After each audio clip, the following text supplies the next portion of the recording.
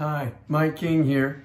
Hope all of you are safe and well and that you're minding your social distancing and wearing your mask and using your hand sanitizer and all those good things uh, to help this stay under control and to push it back and try to flatten this curve. I know we've been having some spikes lately around the country. For the most part, VOA has been able to avoid that. We have a couple of areas where they're having a challenge right now. So uh, let's, let's all try to mind our protocols and keep doing the things that have, have made this work for us. Uh, still, still, even with the recent spikes in some in some areas, we still are well below the national average on, on all statistical analysis, uh, and that's only due to your, your dedication, protocols, passion, and your courage for this.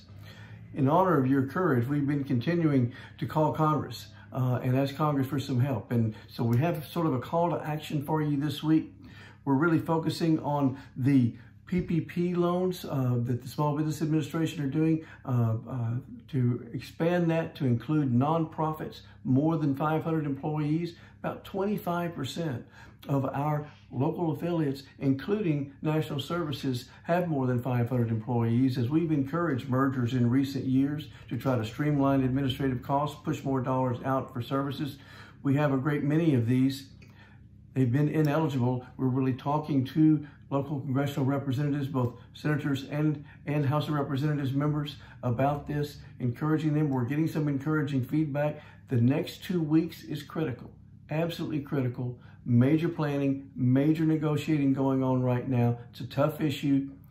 Encourage you to kind of stay in tune on this and ask you to call your folks. Call your folks in your local districts, your local congresspersons, your local state senators, please encourage them to take a hard look at this and to listen to the language that we're providing them. We're providing them language to carve out large nonprofits within the human services arena, areas of people that we serve the most vulnerable. It's an important issue for us.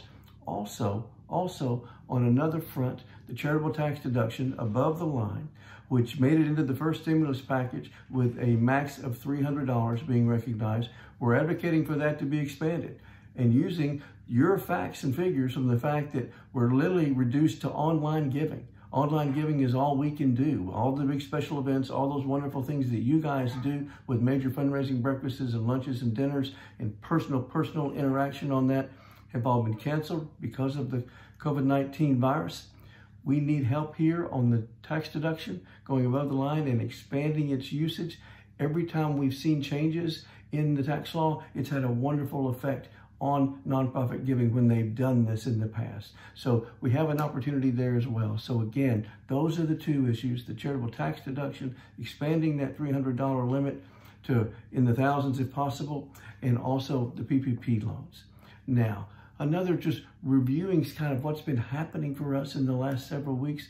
I've been amazed at the productivity of all of our staffs, local and national, in working remotely in working remotely, there was always a great fear around that, that you would lose productivity, dramatic impact on productivity. Folks wouldn't have the discipline and all the other. Well, that has just not been the case. Our organization has been phenomenally productive. You at the local level have been incredibly productive. At the national level, same story, same story. So proud of that. It has made us more nimble. It has made us faster. We've been able to capitalize on things and maximize opportunities. That's happened throughout our organization. Just today, I was in a virtual meeting of a planning retreat of our church governing board, having their planning retreat virtually through a major Zoom meeting, breaking into small groups and everything else, and hearing, hearing our new chief ministry officers, James Marshall, his new strategic vision for the ministry of our wonderful organization. Great dialogue, great conversation, completely productive. I don't want to steal any of his thunder. There's more work to be done. Watch for this in the in the very near future, but it's wonderful creative work of how we take our ministry to the next level. Being done right now virtually people working remotely and calling into this and doing it over a two-day period of time. Wonderful work being done and led by Pam Richardson, the new chair of the church governing board, in concert with the staff led by the Reverend James Marshall. Great work there. Thank you so much for all that you were doing. Please stay safe. Please stay well. And God bless you.